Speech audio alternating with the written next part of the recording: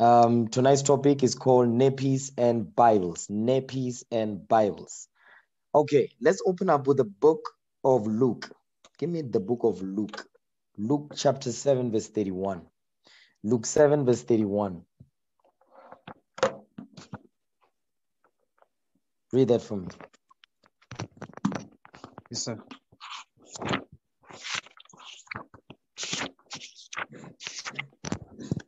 The book of Luke, chapter 7, verse 61. No, 31. 31. Luke 7, verse 31. Luke chapter 7, verse 31. Mhm. And the Lord said, Whereunto then shall I liken the men of this generation? And to what are they like? Come on. They are like unto children sitting in the marketplace and calling one to another and saying, We have piped unto you, and ye have not and ye have not danced. We have mourned to you, and ye have not wept. So now this is Christ speaking to the scribes and Pharisees. He speaks not just the scribes and Pharisees, but the men of that generation of the time that he walked in. So he's speaking directly to the men of that generation.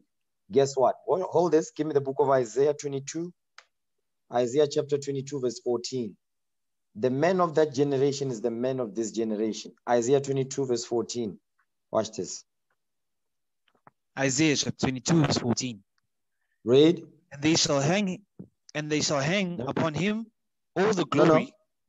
Isaiah 22, verse 14. Come on. Isaiah chapter 22, verse 14. And it was revealed in mine ears by the Lord of hosts. Surely this iniquity shall not be purged from you till ye die, saith the Lord Read. God of hosts. You see what he's saying is that surely this iniquity shall not be purged from you till ye die. So Isaiah is talking about what? Isaiah is prophesying about the generation of these of the last days. He says, he says, this iniquity shall not be purged from you till ye die. So he's talking about what? This is regeneration. That the spirits they come back every fourth or four- fourth, third or fourth generation, the spirit come back. So the same spirit that Christ was addressing back then is the same spirits that are back this day. So go back to where he was at, Luke 7, verse 32 again. Start at verse 31. Read verse 31 again. Luke 7, 31. Luke chapter 7, verse 31. And the Lord said, Whereunto, will, whereunto then shall I liken the men of this generation? And to what are they like? The men of this generation. The men of this generation is the men of that generation that Isaiah was talking about. Go ahead. They are like unto children sitting in the They are marketplace. like unto what? They are like unto children sitting in the marketplace. He says, The men of this generation, they are like unto children sitting in a marketplace. So now you really have to imagine the characteristics of a child. You understand? It says, They are like unto children sitting in the marketplace, meaning what? They are idle. Okay, come on. They are like unto children sitting in the marketplace and Read. calling one to another and saying, They are calling now the children, hold on, these men, because they are what? They are children. You understand? These men, they are children. Their child, their mind is the mind of a child. It says they are like unto children sitting in the marketplace, calling one to another. Meaning what? They calling one to another to influence one another. You understand? Come on. and saying, We have piped unto you, and ye have not danced. That's We what have warned scribes you. Hold on, wait. The scribes and Pharisees, you understand, those that don't didn't believe on Christ and those that follow the scribes and Pharisees, this, they were saying to Christ, We have piped unto you, and ye have not danced. You understand? Meaning what? They are not dancing. The, Christ wasn't dancing to their tune because they were not about progress. They were about confusion. Go ahead. We have piped unto you, and ye have not danced. We have mourned to you, and ye have not wept. You see that thing? We have mourned to you, and ye have not wept. Watch this. Give me the book of Proverbs, chapter 1, verse 10. Because that's what this is what Christ is explaining here. Proverbs 1, verse 10. Watch this. Proverbs chapter 1, verse 10. My son, if sinners entice thee, consent thou not. You see that thing? So these that were what? They said, these that were saying, We have piped unto you, and ye have not danced. We have mourned to you, and ye have not wept. That's the sinners. It says, If sinners entice thee, consent thou not. Because why? They what their mindset is not the mindset of what the mindset of progress about the bigger picture, the nation of Israel. No, the mindset is the mindset of a child. The child is only concerned with their toy. That's the mindset of a child. That's the man of this generation. Read again. Proverbs chapter 1 verse 10. My son, if sinners entice thee, consent thou not. Consent thou not. Come on. Verse 11. If they say, Come with us, let us lay wait for blood. Let us lurk privily for the innocent without cause. You see that thing? So this is how they pipe unto you. That's why verse 10 says, if sinners entice thee. So he's telling you that the, the, the mannerism, the character of these boys, these children that are going to pipe unto you. You see that thing, my son, if sinners entice thee, consent thou not. Verse 11 is when they pipe unto you. You understand? Jump down to verse 15. This is the point. Verse 15. My Mhm. son, walk not thou in the way with them. You see that thing? My son, walk, hold on. My son, walk not thou in the way with them. Meaning what? Don't follow after their evils. When they pipe unto you, don't dance to their tune. That's what he's saying. Because the men of this generation, that's how they think. Okay? Children, they are childlike. Their mannerism, their behavior, their conduct is children. You ever see children playing in the garden? They are always fighting all the time. Why? Because one has got a better toy than that other one, and the other one wants to bully this other one. The other one hates that other one. So on. That's how children are. You understand? There's always some confusion. Children, the whole day, that's what they do. They throw tantrums. Okay, read that again. Verse 15. Proverbs chapter 1 verse 15. My son, walk not thou in the way with them. Refrain thy foot from their path.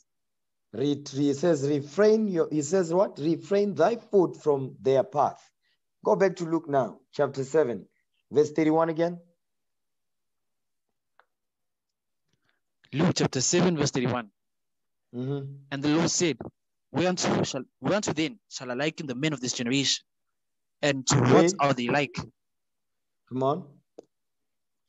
They are like unto children sitting in the marketplace, and calling one to another and saying, We have piped unto you, and ye have not danced. We have mourned to you, and ye have not wept. You see what he's saying? He says, We have piped unto you, and ye have not danced. We have mourned to you, and ye have not wept. So, what is this going into? It goes in, it's going, is peer, this peer pressure. You see, peer pressure is a what? It's a conspiracy of evil nicks. Yes, uh, peer pressure is a conspiracy of evil nicks. That's what we call. That's what peer pressure is. That's what we're explaining it. That's how uh, the men of that generation moved. That's the main, the same mindset of the men of that generation is the same mindset that we have today. That's why Christ was addressing it, because the same generation back then is the same generation today, and they are back. You understand? Watch this. Give me the book of Isaiah, chapter 3, verse 12. Okay? Isaiah chapter 3, verse 12. The men of this generation, they are fueled by what? A lot of them, they are raised by their mothers. The men of this generation, they are raised by their mothers. You understand? So now, when you bring correction, a lot of them very emotional. You understand? But some they hide it very well. By the way, you think you can't see it? They hide it very well. Okay, watch this. Give me that in Isaiah 3, verse 12. Isaiah 3, verse 12. Watch this.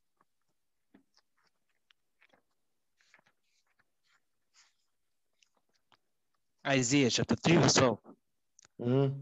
As for my people, children are their oppressors, and women rule over them. Read. O my people, they which lead thee cause thee to err, and destroy the way of thy paths. You see that thing? It says children are their oppressors, meaning what? Unruly teenagers, unruly children that act like men, but they are not men, they are they are children. That's why the classes is nappies and Bibles. Because when you have a na- children that has a nappy, that means somebody else has to change them. You understand? They mess up the nappy, it needs to be changed. You understand? So you just really look at that side. Look at a small baby holding a Bible with a what? No t-shirt, not not top on, just walking around with a pampers. Just imagine that sight. Okay? Read that again. Verse 12. Isaiah chapter 3, verse 12. Read. As for my people, children of their oppressors, and women rule over them. Mhm. O my people, they which lead thee cause thee to err, and destroy the way of thy path. So now, what were the characteristics of the men that Christ was talking about in Luke 7? That's the same. That's these are the men that Christ is addressing here. You understand? Children are their oppressors because they oppress they what? When when go oppression of the parents, it goes into what? It goes into disrespectful children. You understand? Disrespectful children. That's what it goes into. Children are their oppressors, and women rule over them because a lot of them raised by their mothers. Even if the father is in the house, the mother is running the show. That's always the characteristics. So what you want to see is that a lot of the times brothers come into the truth. You understand? This is um, part part 2.1 of Sims that's coming. You understand? Brothers come into the truth, but what is happening is that you ever seen disrespectful teenagers that be throwing toys, punching their mothers? You understand? Destroying cups in the house and all of that. A lot of you, some of you, you are like that spiritually. You don't do it physically, but spiritually, that's how you are. And you hide it very well.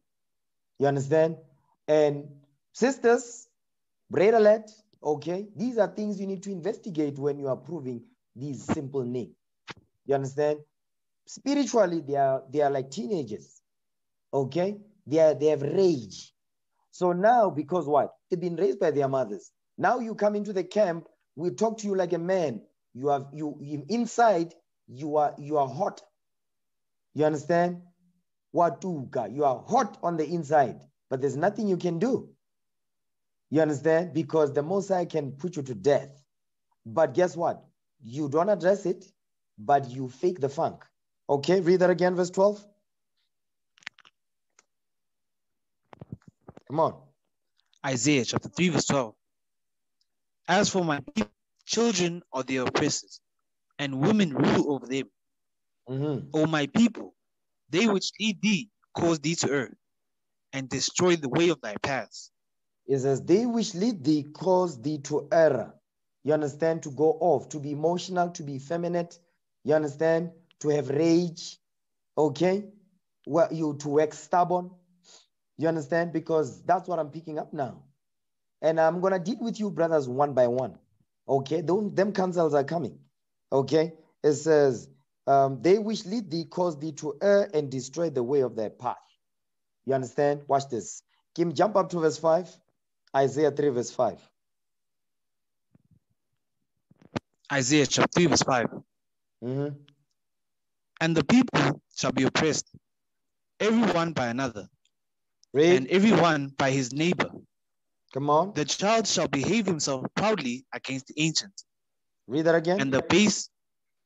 The child shall behave himself proudly against the ancient. It says, The child shall behave himself proudly against the ancient. You understand? Because why? The children, they have no what? They have not been taught how to be men. And now, when they come in Israel, when you are taught to be men and when you are talked to like a man, guess what happens? That woman in you cannot take it. The woman in you is enraged. The woman in you, you wants to fight. The woman in you wants to cry. The woman in you wants to throw tantrums. You understand? And the way you throw them, you don't do them physically, you do it spiritually. You understand? Read that again. And the child shall what? Come on. The child shall behave himself proudly against the ancient, The child. the- so the child, hold on. The child will behave themselves proudly. Meaning what? They will go outside of the law that says, give me that in Exodus. You understand? Exodus about honor your mother and your father. Give me that thing. Exodus 20, verse 12. Exodus chapter 20, verse 12. Come on. Honor thy father and thy mother, Mhm. that thy days may be long upon the land which the Lord thy God giveth thee. You see that thing? That's a heavy commandment right there. Honor thy father and thy mother.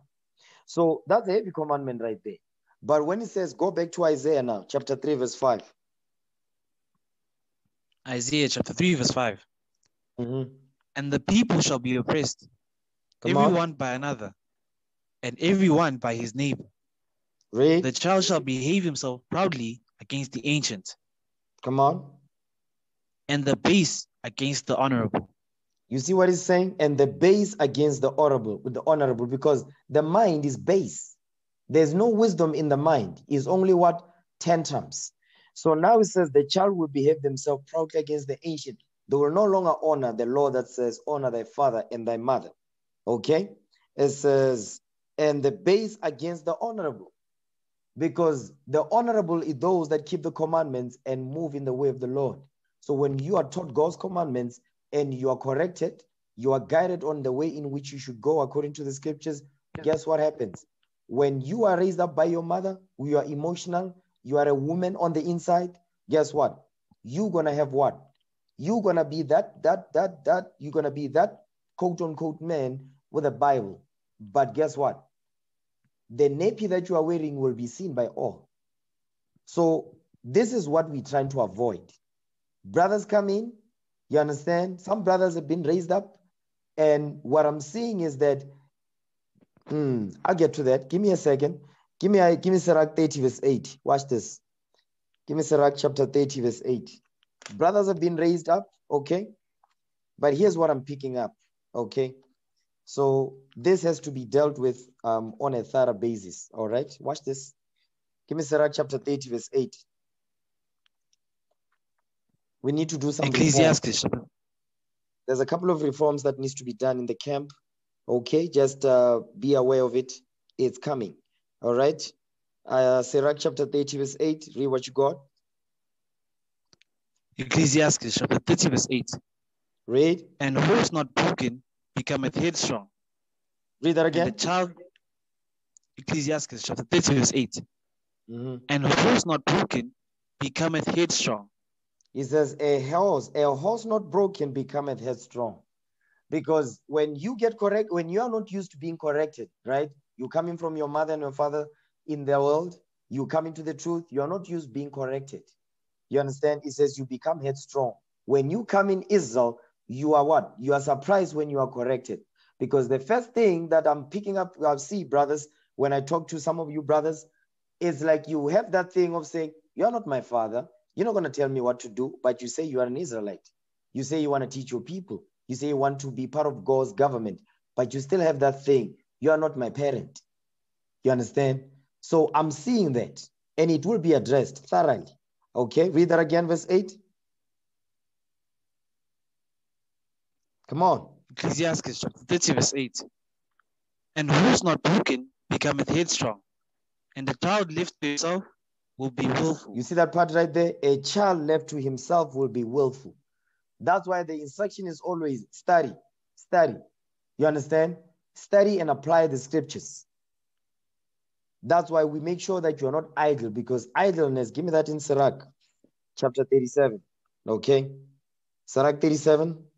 I mean, Sirach 33, verse 27. Sirach 33, verse 27. Ecclesiastes 33, verse 27. Read.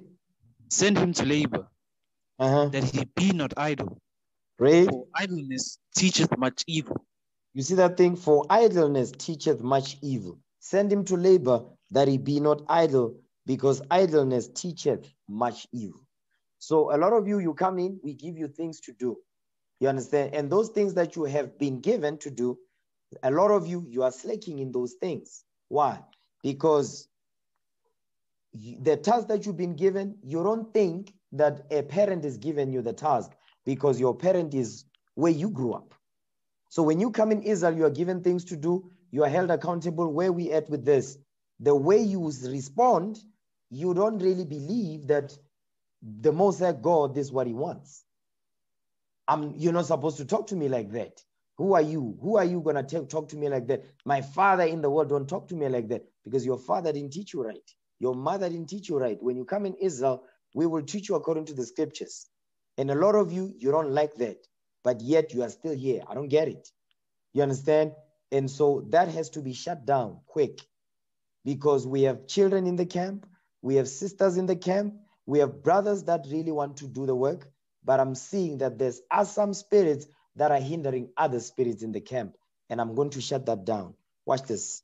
Give me the book of Ecclesiasticus, chapter um, chapter 22, verse 10. Watch this. Sirach 22, verse 10. Come on, Ecclesiastes chapter 22, verse 10. read. But children, being haughty, Mhm. You see that part right there? this It says, but children being haughty, meaning disrespectful. Come on.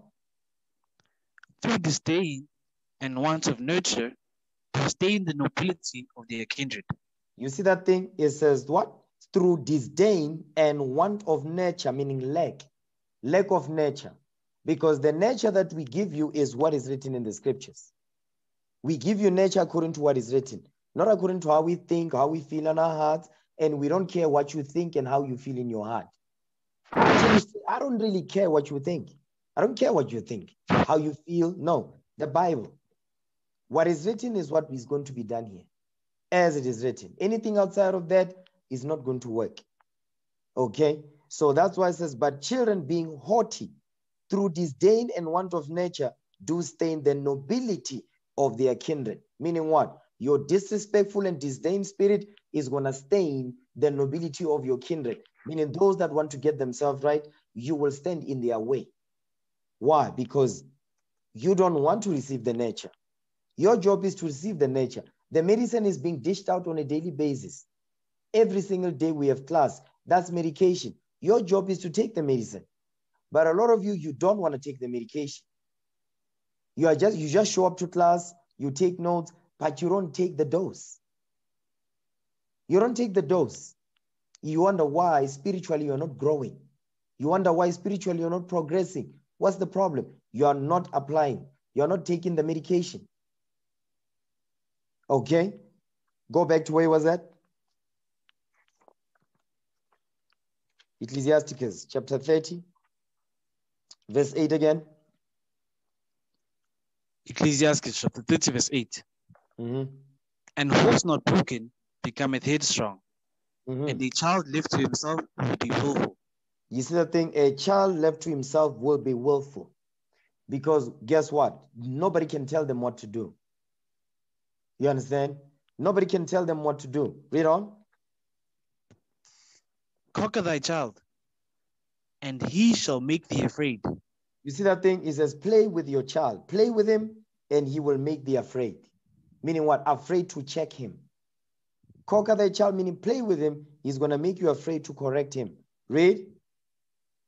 Play with him, and he will bring thee to heavens. You see that thing? He's going to stress you out. He's going to bring you to heaviness. You understand? Some of you up in here. Go ahead. Laugh not with him, Laugh not with him. Because, uh, hold on. Laugh not. Laugh not. Because a lot of the times, you brothers, you understand? Um, I would, uh, you know, I would, we would, we would say, we would joke with you. You understand? We would be laughing with you and all of that. A lot of you, you take that as license to do what? To think that now we we are on the same level. You understand? A lot of you, you do that. Them days are over because I'm picking up that you are you take kindness for now is license for me to do whatever I want or to speak however I want. That's not going to happen because that's what I'm seeing now, and that has to stop. Okay, that's not going to happen. I want brothers and sisters that are out there that are sick that come in that will receive and take the medication because brothers in the congregation they are serious they want to take the medication as well because there's no need what's the point the medication is given out we we diagnose you this is the problem you got fix this fix that fix this but you don't do it you and i'm talking to you men directly okay fix this fix that fix that but you still don't do it okay and guess what the more you don't do it guess what's going to happen you're going to be frustrated and you're gonna start to blame the leadership. No, it's the leadership's fault. No, no, it's your fault. Our job is to teach you the laws of God. We apply it, we lead you by example, but you don't follow the example because your mind is the mind of a child.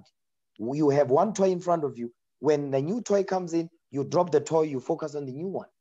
But you're not done on what, what you don't deal with what is what's in front of you.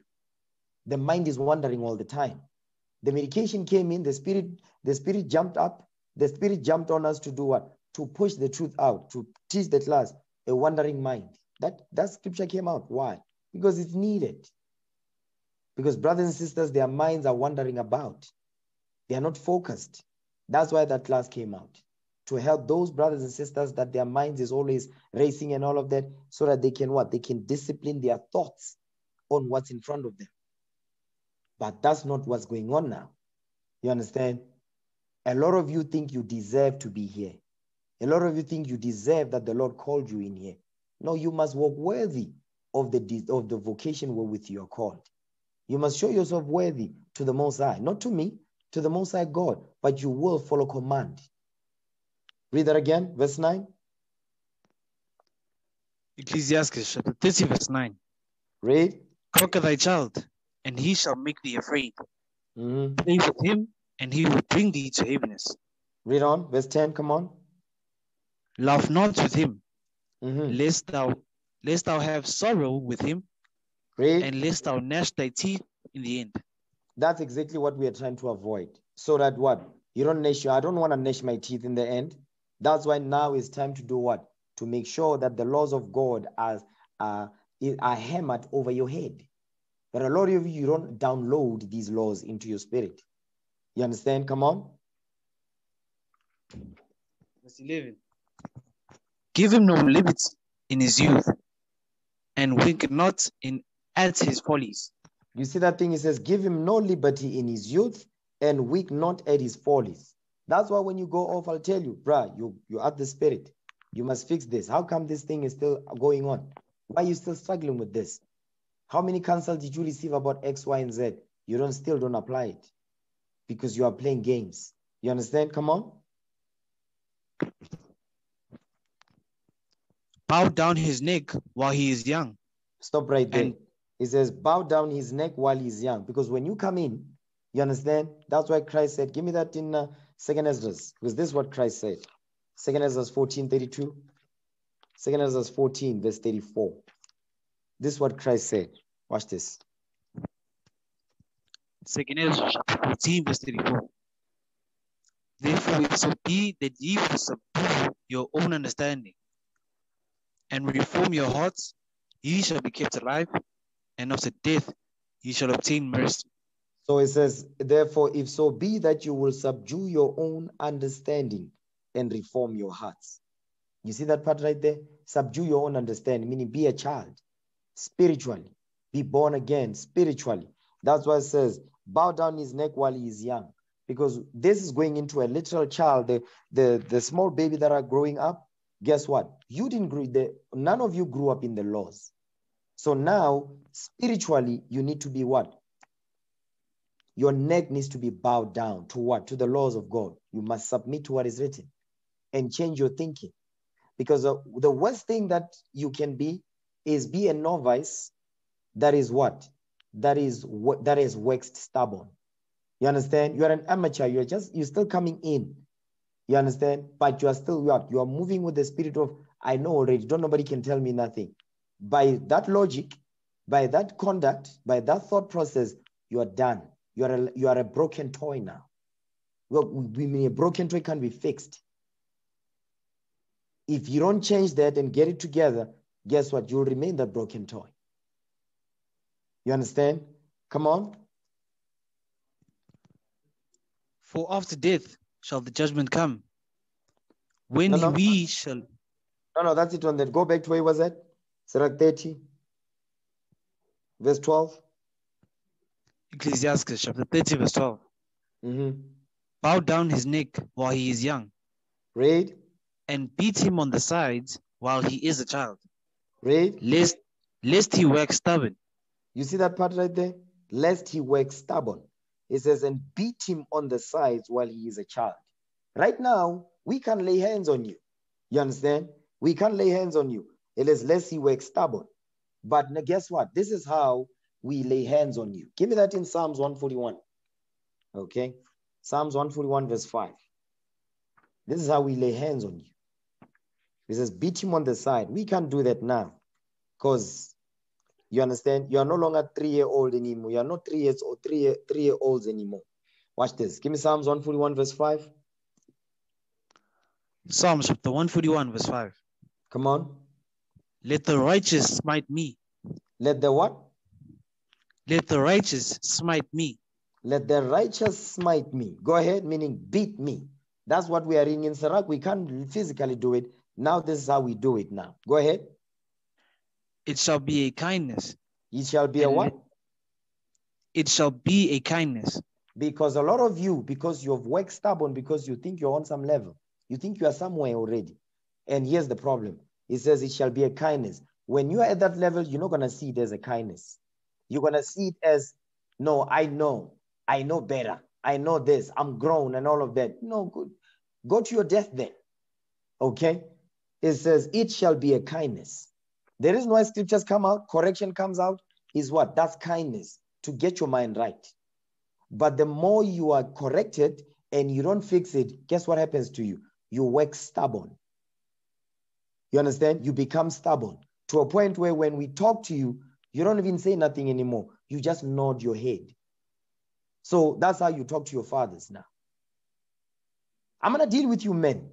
Them days are over. I'm going to deal with you men. Why? Because I'm noticing that a lot of you, you are not here.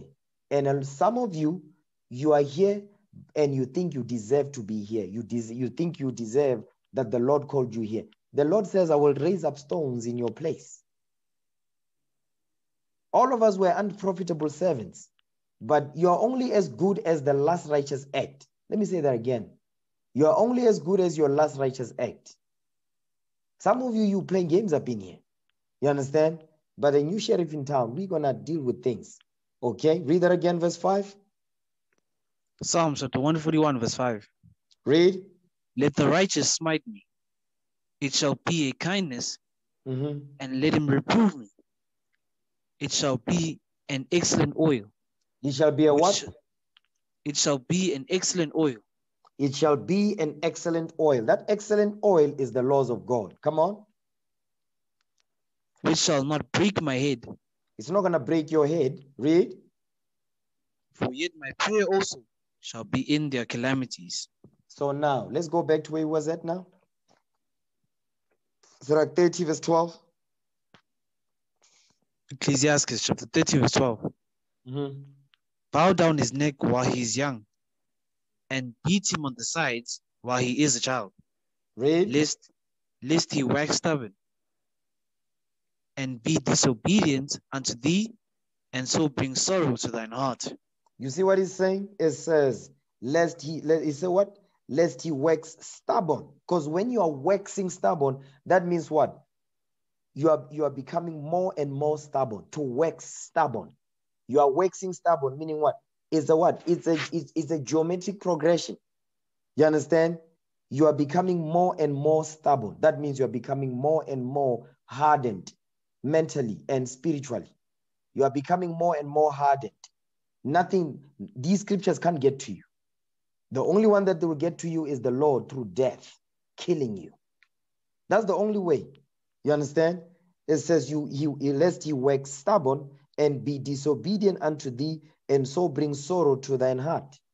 As for me and my house i'm not going to allow that thing to go down.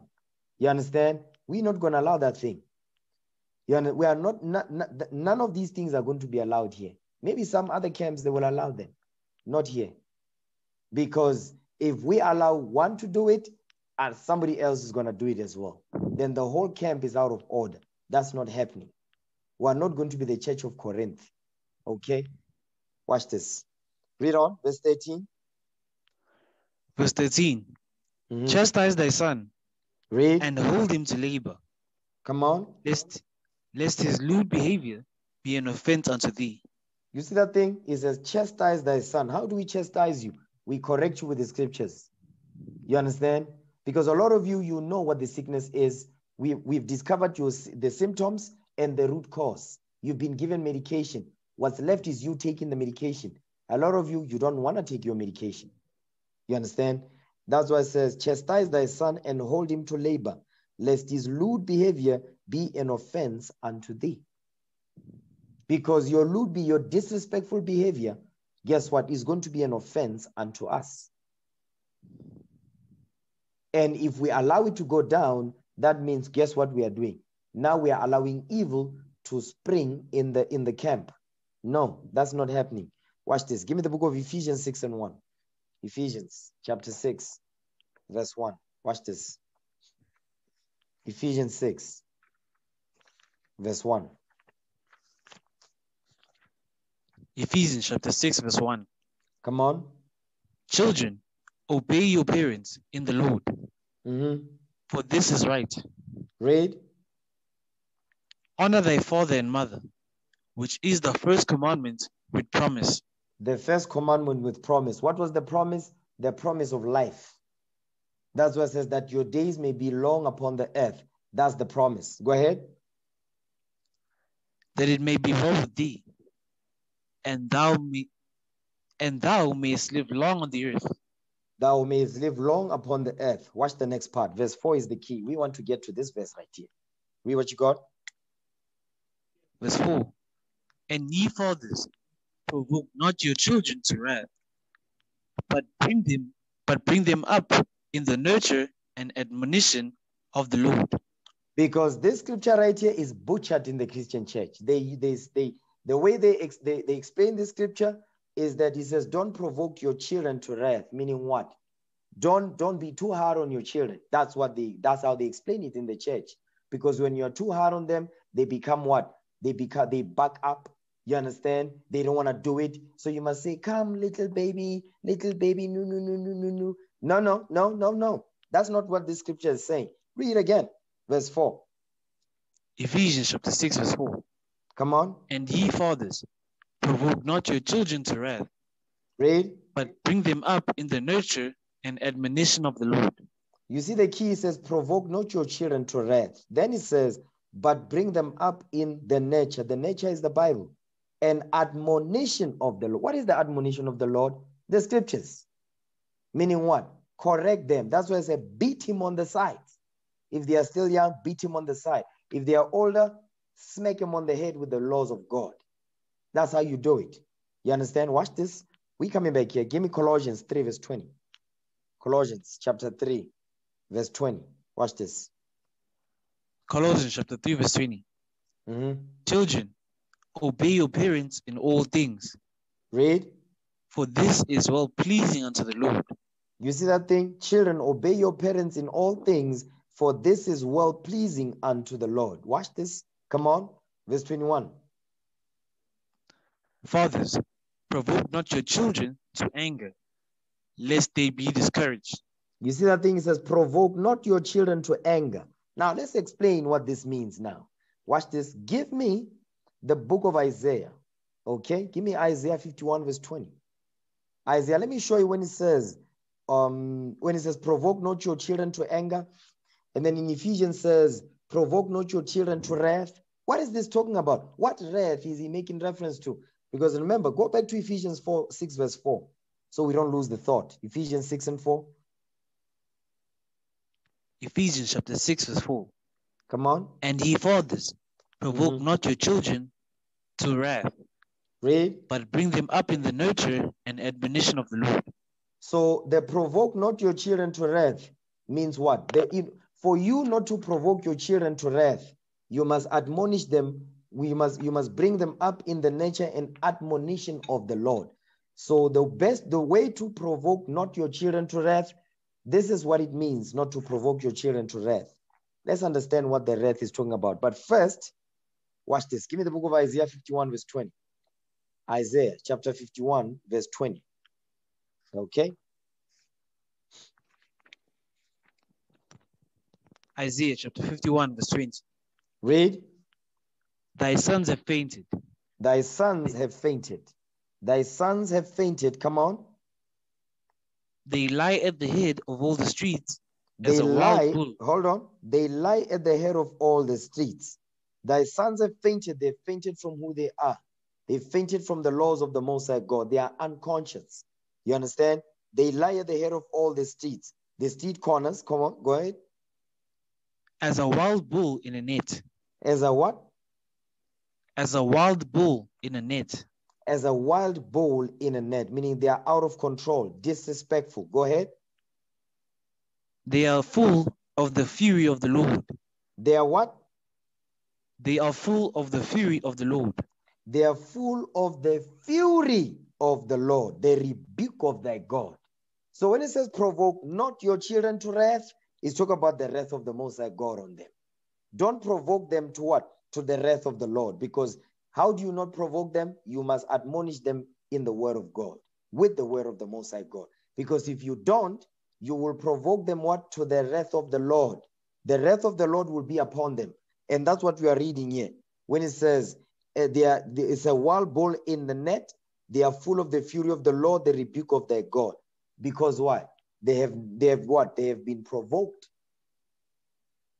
to wrath, to the wrath of the Most High God. Why? Because they are disrespectful, they are out of control.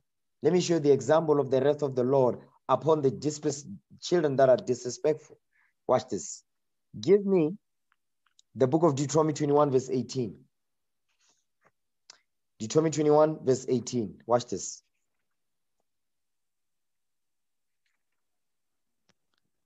Deuteronomy chapter 21, verse 18. Read. If a man have a stubborn and rebellious son, Mhm. which If, if will a not obey the voice, come on. He says, if a man have a stubborn and rebellious son. So that's the subject matter stubborn and rebellious. Go ahead. which will not obey the voice of his father, Come on. or the voice of his mother, Uh-huh. and that when they have chast- chastened him, will not hearken unto them. You, you see that thing? It says, when they have chastened him, will not hearken unto them. Meaning what? He's disrespectful. Because when he says will not hearken, that means what? He's going back and forth with the parents. You understand? They say they say one thing, he says something different. They say, and I see some, I see some of you actually you do it. Them days are, are over. I'm coming for you. Understand that? I need to make sure that the brothers that are coming in, they understand how things, how to be a man, how to learn etiquette, how to address the elders and all of that. All of that needs to happen. That needs to go. That needs to go down. And it will be implemented by force. Understand that? Read on. Verse 19. Then shall his father and his mother lay hold on him, and bring him out unto the elders of this of his city, Read. and unto the gate of this place. Because he said that, you see, when because he does not want to listen to his father, meaning what? His father and mother, they tried. Now he's what? They, they are not winning. So now they say, okay, you don't want that, that's fine. Now he says they will bring him to the elders of his city and unto the gates of his place. You see that thing right there? The elders of the city and unto the gate of his place. Meaning what? The house. So they're going to bring you to the elders of the city. They will take you and bring you to your gate, the gate of your father, your father's house. Okay, come on. Watch this. And they shall say unto the elders of his city, This our son is stubborn and rebellious. Read. He will not obey our voice. Come on. He is a glutton and a drunkard. Meaning what he eats, he sleeps, he poops. That's what he does. He says he will not obey our voice. He's a glutton and a drunkard. Watch this. Come on. And all the men of his city shall stone him with stones, that Come he on. die. And so that thou, Deuteronomy chapter 21, verse 21, and all the men of his city shall stone him with stones, that he die. So shalt thou put evil away from among you, and all Israel shall hear and fear. You see what he's saying? He says, and all the men of his city shall stone him with stone that he dies. Where are they doing this? At the gate of his house. They are killing him at the gate of his father and mother. You understand? At the gate of his house. It says, So shall thou put evil away from among you, and all Israel shall hear, shall hear and fear. Meaning what? This is how they put the evil out of the city. Because they understood that if we let this evil to go down, is gonna what? Is gonna spread through the whole community and the whole nation will be in shambles. Because of what? Because of this disrespectful Negro right here. So all Israel understood that. And they all did it with what? They did it with joy and might. Why? Because they understood that if we don't do this, guess what? The evil is going to spread. Because if you get away with it next door, the next door, the, the child next door also going to do it. Before you know it, the whole community is in a mess. Why? Because of that one child. So now he says, because of that, guess what? He needs to be put to death so that all Israel may hear and fear. Don't follow that example. That's how we dealt with things in Israel. Today, the Lord does that. Okay, come on. And No, if a man have that. That- no, no, yeah, that's it. That's it. That's it on that. That's it on that. So, give me Proverbs 29, verse 1.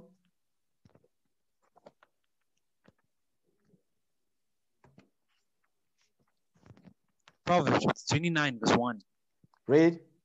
He that being often reproved hardeneth his neck, and shall suddenly be destroyed, and that without remedy. Read that again. Proverbs chapter 29, verse 1. Mhm. He that being often reproved hardeneth his neck, shall suddenly be destroyed. So it And- says he, hold on, it says he that being often reproved hardeneth his neck. Why is he hardening his neck? Because he's corrected all, he's corrected often, but he's hardening his neck. Why is he hardening his neck? Because it doesn't apply. Instead of applying, Isaiah 3 verse 12 kicks in. You see that thing? Instead of applying Isaiah 3 verse 12 kicks in, and guess what? The nig kicks in because you're not my daddy.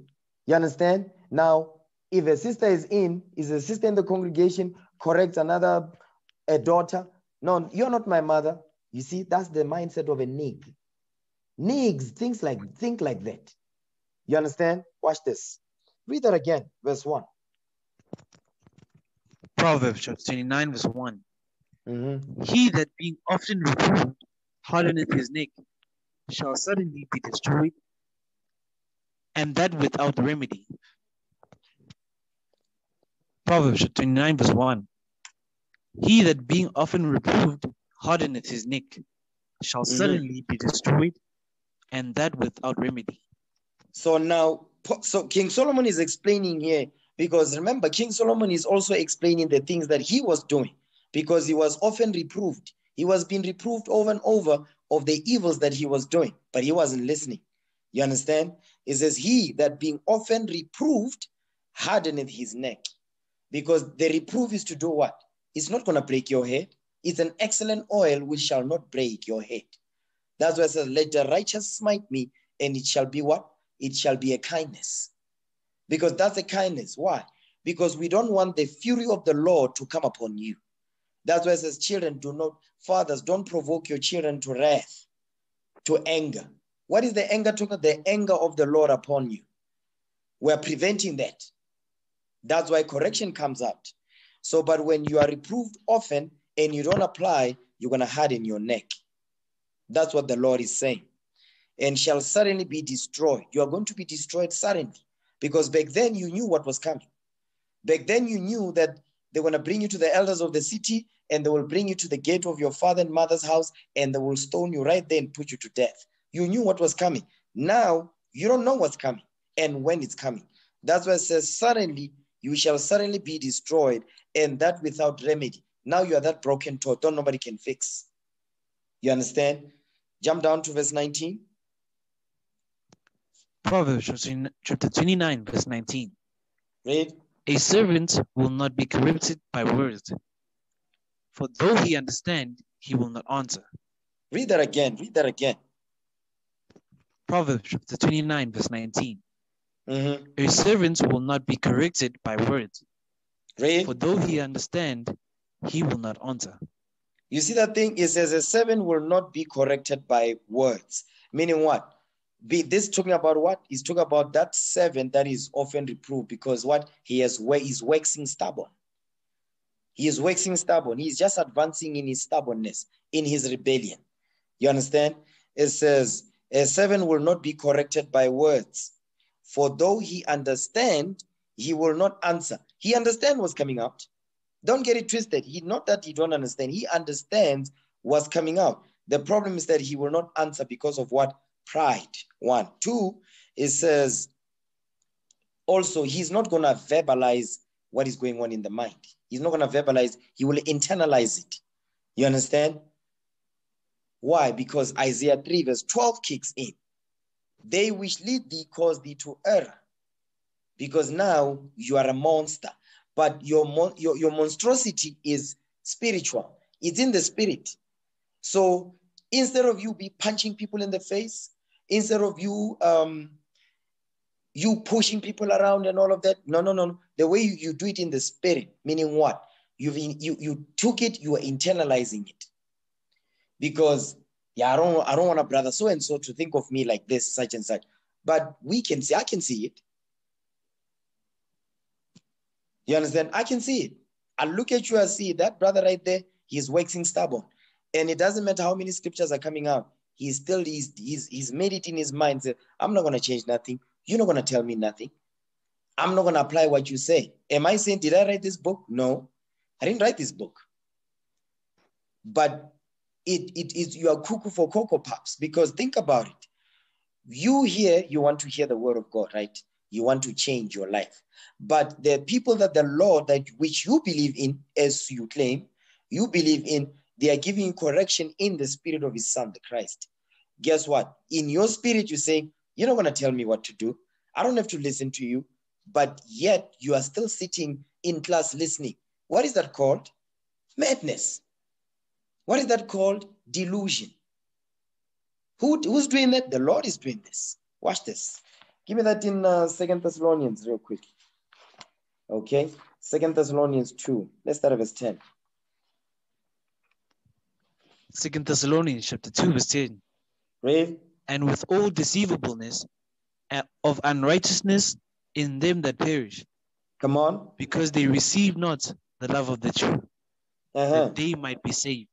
Because the, the, the, the whole point of them waxing stubborn is because you don't receive the love of the truth. You don't receive the love of the truth. The laws of God cannot be planted in you. Yes, he says, though he understand, he will not answer. That's what that's the example here. You understand? Because you don't want to receive the love of the truth that you might be saved, delivered from that demon that is ruling over you. That demon that you are worshiping, Satan, that's over your head. Come on. And for this cause, God shall God shall send them strong delusion, that they should believe a lie, That's the key right there. God shall send them strong delusions that they should believe a lie. So you are sitting here, you taking notes every day when we have we, classes are coming out. Medication, you understand? Take medication on a daily basis so you can get better. A lot of you, you don't do it. You understand? So now, at the same time, when you get corrected or classic coming out, you everything is personal with you. You take everything personal, and a lot of you um, it shows through your countenance, your mannerism. I can tell you don't really what's like what's coming out, and you you are personalizing everything that's coming out, and you are holding a grudge towards leadership because the scriptures we bring the scriptures out. I'm bringing the scriptures out as it is written, but you have misdirected anger, so you internalize it, and then you're gonna be talking about no, I like that sister. No, I want, uh, uh, one day I'm, when, I, when I get married, listen, you mean to tell me I can see you don't want to get yourself right? You are internalizing everything that's coming out, is you're taking it personal. You are taking it in, you don't do nothing about it. And I'm to give it to that sister. You crazy. You're to kill that, that sister because you are an abuser. You are a ticking time bomb. You are a powder cake. Once you get married, all that rage will be what? Will be dished out to that sister. And now that sister is destroyed. And guess who they're to blame? They say SOC teaches that. No, we don't teach that garbage. You understand? We don't teach garbage like that. But my point is the NICs, they don't take a responsibility for nothing, but they internalize the stuff. That's why it says, God shall send them strong delusion that they should believe a lie. You're going to create a lie in your head, you'll believe it. You understand? Because you'll be sitting, taking notes, but hating the scriptures coming out, and the man the Lord has set up to give you, to guide you, and teach you, because you don't think that's the man of the Lord, but yet you say you believe in the Lord. What is that called? Strong delusion that they should believe a lie. Now, the Most High God now has allowed Satan to take the seat. Satan now is in the driver's seat. Not Jesus take the wheel. Mm-mm. Satan take the wheel. Satan will be say, I got it from here.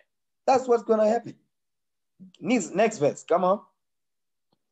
Verse 12 That they all might be damned who believe not the truth, but had pleasure in unrighteousness. You see that thing, but had pleasure in unrighteousness, had pleasure in sin. Stub because you are waxing stubborn. You understand? Don't nobody can get to you. Watch this. Somebody can get to you. Second Ezra chapter 16. Watch this. Second Ezra chapter 16 and verse verse 77. Second Ezra chapter 16. You know what? Start at verse 76. 16 verse 76. Watch this. Second Ezra chapter 16, verse 76. And the guide of them who keep my commandments and precepts, saith the Lord God, let not your sins weigh you down, and let not your iniquities lift up themselves. You see what? This is a commandment. You understand? And the guide of them who keep my commandments and precepts. Because you are guided to do what? To keep the commandments and the precepts of the Most High, apply them. Say the Lord God, let not your sins weigh you down. Don't let the breaking of God's laws destroy you. You understand? Because you're waxing stubborn, because don't nobody can tell you nothing, because you're not your, you're not my you're not my father. You're not gonna tell me that. Okay. So it says, let not your sins weigh you down, and let not your iniquities lift up themselves. How do they lift up themselves? Now your anger, your rage, you your dislike for leadership and the scriptures coming out is now running, ruling over you. What is that called? Emotions. You understand? Read on, verse 77. Watch this. Woe be unto them that are bound with their sins. That's it right there. And But woe be unto them that are bound with their sins. Because who decides, who, de- who whose, who, whose decision is it for you to be bound with your sins? You decide. It's your decision for you to be bound with your sins. Hold this. Give me, give me Matthew 18. Matthew 18, verse 18. Watch this. Matthew chapter 18, verse 18. Because another thing that we don't seem to understand is that um, read the verse, read it, and I'll explain it. Matthew chapter 18, verse 18. Read. Verily I say unto you, whatsoever ye shall bind on earth shall be bound in heaven, and whatsoever ye shall loose on earth shall be loosed in heaven. That's it right there. Simple. Whatsoever ye shall bind on earth shall be bound in heaven. Whatsoever ye shall lose on earth shall be loosed in heaven. So if you correction comes up, you don't receive the correction. Instead, you become offended. You become a woman. You become emotional. You hold a grudge. You start to have an evil eye towards leadership. Because I pick it up, I just keep quiet and say, I hope the brother can get himself right. I hope the brother can what? Can swallow his pride. I hope the brother, I pray that the brother can get it together and realize that we are not here to raise up uh, to raise up women in the sense that men, we are here to build men up because men are the leaders of the nation. We're not gonna talk to you like a like a like like, um, like I talk to the sister. No, I'm gonna talk to you like I talk to a man, or I'm gonna talk to you. I'm gonna talk to you the way in which you must grow up to become a man. That's how I'm gonna talk to you. But a lot of you, you don't like that because it hits home because you're not used to that. You understand? Read that, read that part again. Verse 18. Matthew chapter 18, verse 18. Mhm. Verily I say unto you, whatsoever ye shall bind on earth shall be bound in heaven, Mhm. and whatsoever ye shall loose on earth shall be loosed in heaven. You see that part right there? So now go back to where was that now? So wherever you wherever you wherever you lose here, you lose, or you wherever you bind here on earth, is bound in heaven already. Who's doing that? You are doing it. You understand? And whatsoever ye shall lose on earth, also in the heavens, the Lord shall say, okay, I'll release it then. But as long as you the scriptures come out, you moving in the you're you're you're work you're waxing stubborn. You understand? Don't nobody can tell you nothing. Guess what? You are binding it here on earth. Guess where it's bound as well? It's bound up there in the heavens. You understand? Go back to Second Ezra, chapter 16, verse 77. Watch this. Second Ezra chapter 16, verse 77. Mhm. Woe be unto them that are bound with their sins, That are what? that are bound with their sins, That are bound with their sins. Come on. and covered with their iniquities, And covered with their what? and covered with their iniquities, You see what he's saying? He says, Woe unto them that are bound with their sins and covered with their iniquities. So you are bound with your sins because what did you do? You decided to bind them here on earth.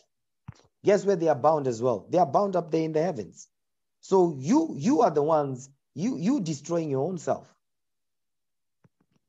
Because the Bible, the scriptures are the, the, the scriptures, they are too high for you. Your mind is operating on another level above the Bible. So it says, Woe be unto them, meaning death be unto them that are bound with their sins, meaning they don't want to repent. You understand? And covered with their iniquities. Like as a field, go ahead, like as a what? like as a field is covered over with bushes, and the path thereof covered with thorns, Mhm. that no man may travel through. You see that part right there? That no man may travel through. Meaning we can't get to you. It doesn't matter how many counsels we give you. You know, it does no, it doesn't matter how many counsels I can have with you. It doesn't matter how many scriptures I can give you. Because there's no magic scripture. It doesn't matter how many classes can come out. If you have bound that thing on here on earth, you don't want to let it go, you don't want to repent of it, it's bound in heaven as well.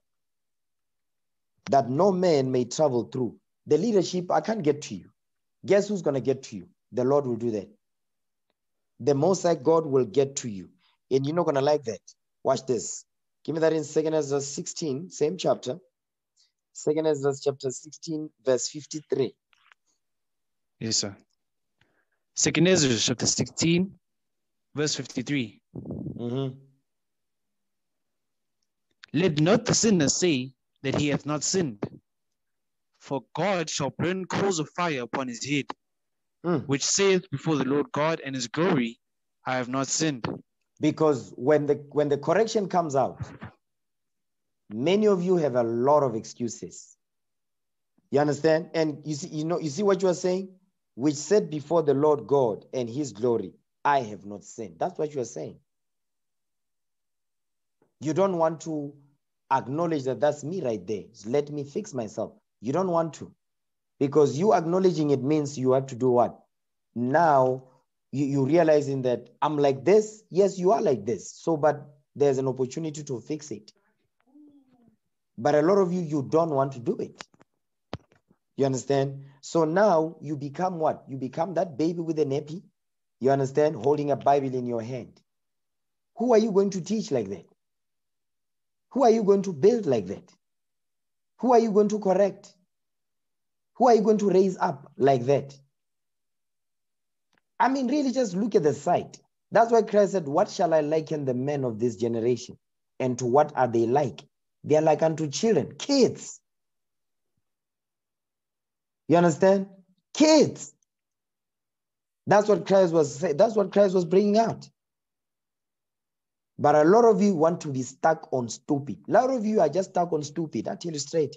A lot of you, you are stuck on stupid. Why? Because the scriptures come out, you don't want to apply. You are stuck on stupid. Yeah.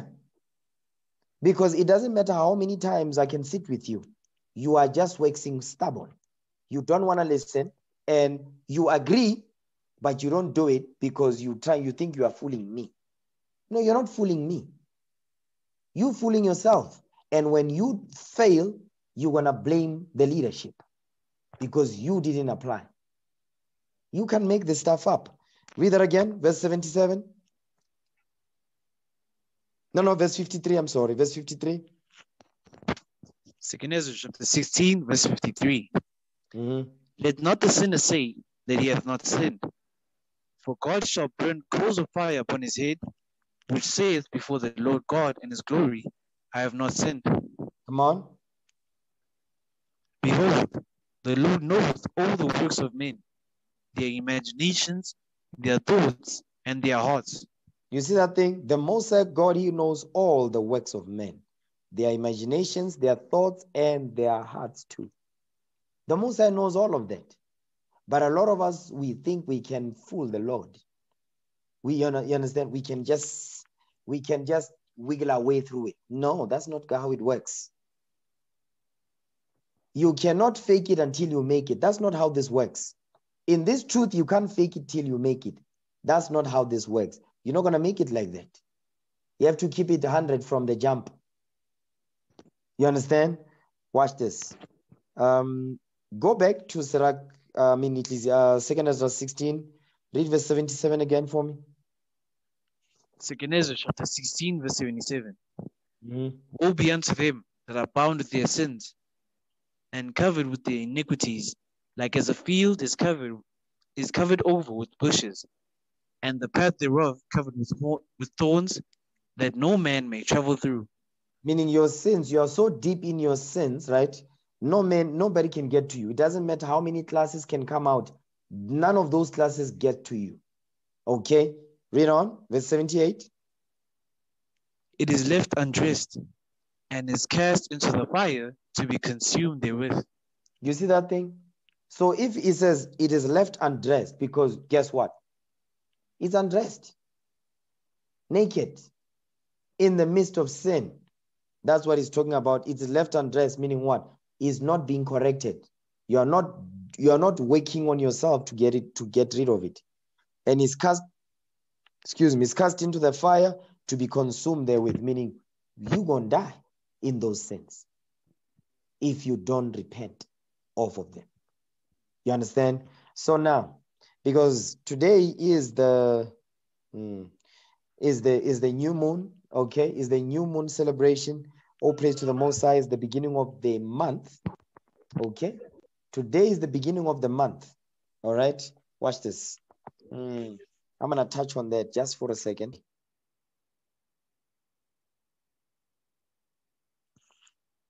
First book of Timothy, chapter 3, verse 1. This is a true saying. If a man desire the office of a bishop, he desireth a good work. A bishop, that means a high ranking leader, okay? A high ranking captain. That's what that means. This, it it says, This is a true saying. If a man desire the office of a bishop, he desireth a good work. Go ahead. A bishop then must be blameless, A bishop then must be blameless, meaning what? Must not be breaking God's commandments. Go ahead. the husband of one wife, The husband of one wife, because we don't teach multiple wives here. Go ahead. vigilant, You must be vigilant. You must be on alert. Okay, come on. sober, Sober minded. The way you think, your thought process must be sober. Read. of good behavior, Of good behavior. Read. Given to hospitality, Be even to hospitality, meaning what? You seek counsel, you receive the counsel. Come on. apt to teach, Meaning have the aptitude to teach the nation of Israel. Okay. So you brothers that want to be leaders in Israel, this is the job. This is the this is the requirements, what we are reading here. Go ahead. not given to wine, no striker, He says, not, Not given to wine. Not given to wine. It doesn't mean you don't drink. No, no. Meaning what? Don't be a drunkard. Okay? No striker. Be punching people in the face. Go ahead. not greedy of filthy luck, uh, Lucre. Lucre. Not greedy or filthy lucre. Meaning what? They are covetous. They are about the money. Okay? Come on. not greedy of filthy lucre, but patient, But Not patient. You must hold on. But patient, you must. That's the fruit of the spirit. Long suffering. Come on. not a brawler, Not a brawler, not a fighter. Read. not covetous, not covetous. Read on. one that ruleth well his own house. Stop right there. Read that part again. One that ruleth well his own house. It says, one that ruleth well his own house. So give me that in Second Ezra 14, verse 13. Second Ezra chapter 14, verse 13. Watch this.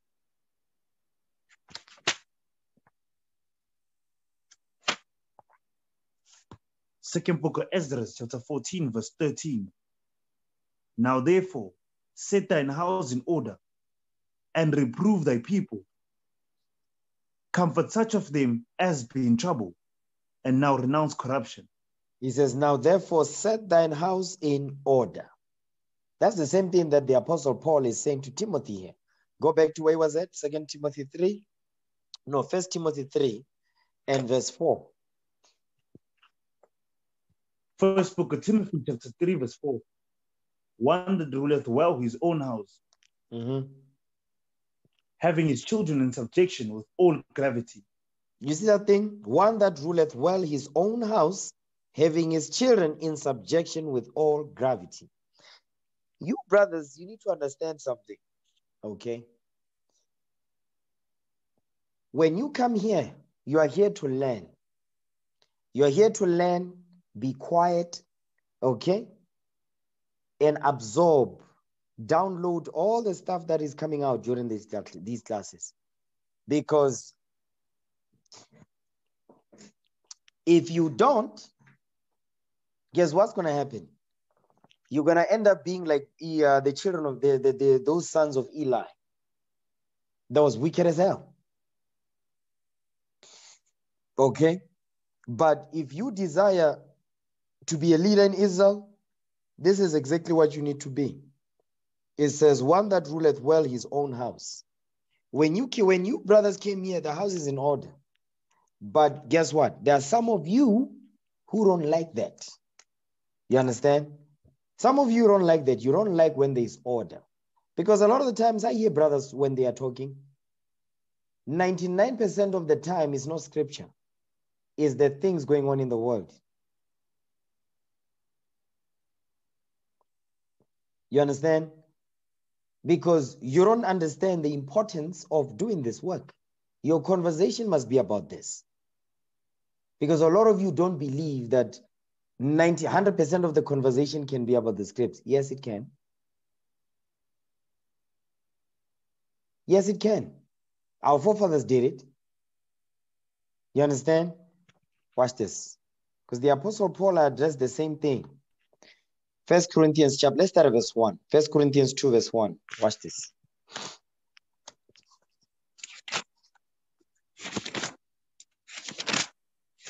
First book of Corinthians, chapter 2, verse 1. Read. And I, brethren, when I came to you, came not with excellency of speech or of wisdom, declaring unto you the testimony of God. He says, I came unto you declaring the testimony of God. I didn't come to you with excellency of speech or of wisdom of men. No, no. But declaring unto you the testimony of God. Come on. Verse 2. Watch this. For I determined not to know anything among you, Stop right Save there. What did he hold on? What did he say? for I determined not to know anything among you, Read. save Jesus Christ and him crucified. You see what the apostle Paul is saying? He says, For I determined not to hear anything among you say except Jesus Christ and him crucified. He says, That's all I want to know. I don't care about anything else outside of this book. He said, I don't give a damn. That's what the apostle, that's the spirit of the apostle Paul. Christ was just like that. And guess that's why it says, Be ye followers of me, even as I also am of Christ. Because that's what I'm when I'm picking up when I hear brothers talk, a lot of the time it's not about the scripts. You understand? That's why it's so easy for brothers when you're among yourselves, you cannot correct one another according to the scriptures because 90%, 99.9% of the conversation is not scriptural. That's why it's so easy for you to be out the spirit when you're amongst yourselves. But you, brothers, you forgot why you're here. This is an army. Okay? And you, the soldiers, you soldiers, you are moving with the spirit of Rehoboam. I'm going to tell you straight. You are moving with the spirit of Rehoboam because Rehoboam's problem was what? Rehoboam always wanted to appease his friends. That was the problem with Rehoboam. The foolishness of the people, Rehoboam was called. Because he, didn't, he was not about the nation, he was about his friends. No, we're here to hang out.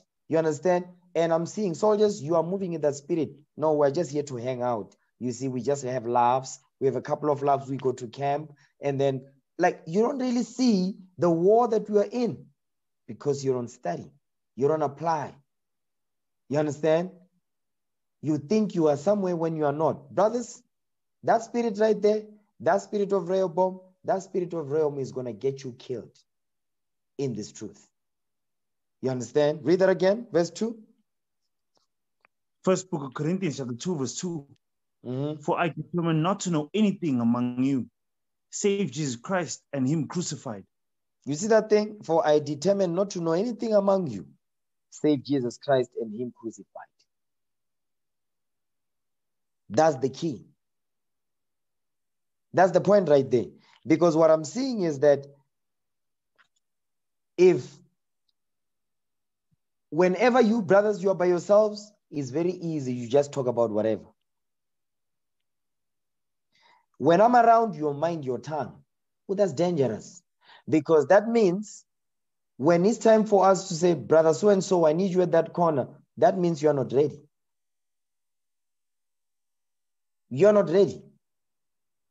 As we are building, you're going to be plucking down like that foolish woman in Proverbs 14 and 1. We need to go two by two at every corner.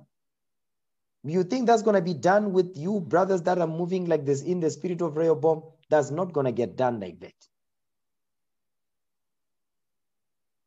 So I need you men to really examine the realities of your situation here.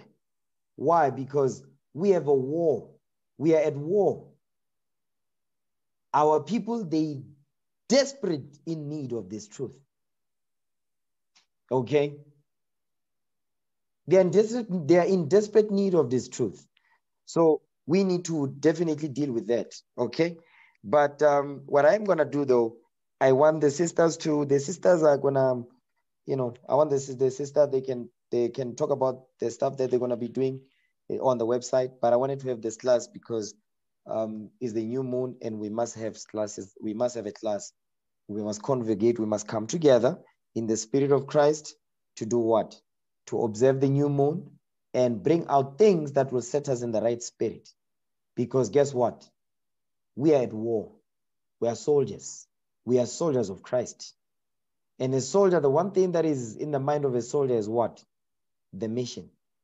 Some of you have forgotten the mission now. Okay. So, um, where was we at? Go back to First Timothy 3 before I lose my thought. First Timothy 3 and verse verse 4.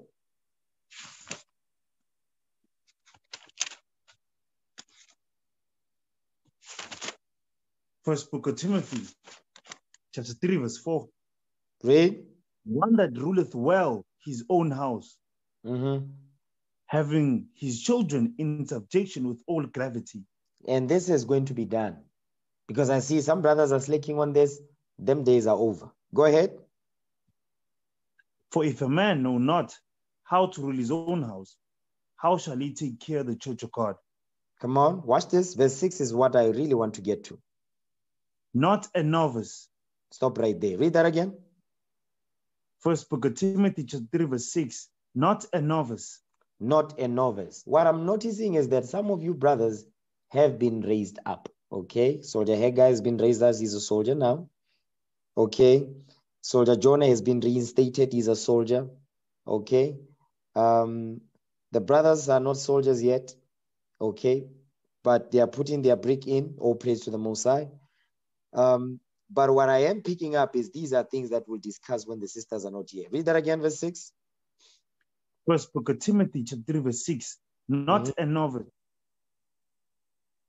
Lest being lifted up with pride he fall into the condemnation of the devil.